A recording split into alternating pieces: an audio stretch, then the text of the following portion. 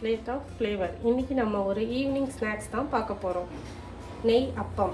அது செய்வதற்கு தேவையான பொருட்கள் கோதுமை மாவு ஒரு கப் ஒரு மூணு ஸ்பூன் மைதா மாவு அரை கப் நாட்டு சர்க்கரை அரை கப் தேங்காய் ரெண் ஒரு அரை சிட்டிகை ரவை உப்பு அரை சிட்டிகை சோடா மாவு அரை சிட்டிகை.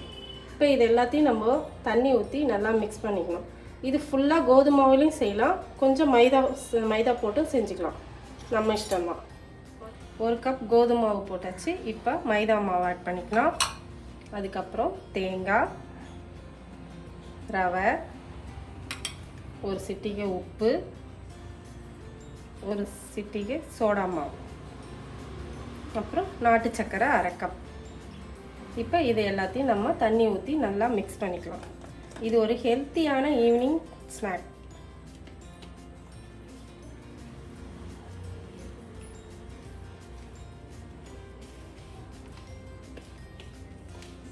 நல்லா மிக்ஸ் பண்ணியாச்சு.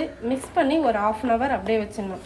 ஆஃப் அன் ஹவர் வச்சா தான் இது நல்லா ப்ளஃபியாக நல்லா வரும்.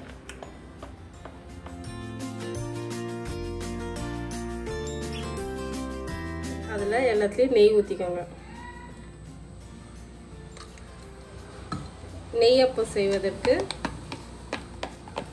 அந்த மாவு எடுத்து அந்த கல்லில் ஒரு ஒரு கல்லுலேயும் ஒரு ஒரு ரவுண்ட்லேயும் ஒன்று ஒன்று ஊற்றுவோம்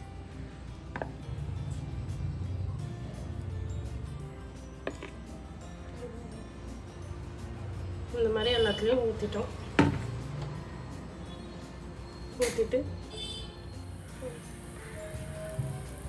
ஒரு பக்கம் செவந்ததுக்கப்புறம் இன்னொரு பக்கம் அப்படியே திருப்பி விடணும் பொறுமையாக ஒரு ஃபோக் ஸ்பூன் வச்சு திருப்பி விட்டிங்கன்னா அது அழகாக திரும்பிக்கும் அதுவாக